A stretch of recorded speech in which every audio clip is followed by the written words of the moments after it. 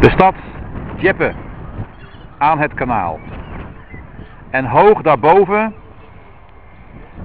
met uitzicht over de zee, staat nu een kerk die nog steeds heet Notre-Dame de Bon Secours.